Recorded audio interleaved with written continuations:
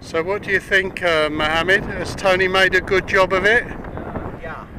Good. Good job, Tony. Sorry. Make, make for me one Jet 3D. I need the Jet 3D. the first one in the world. I buy it from the Pilot RC.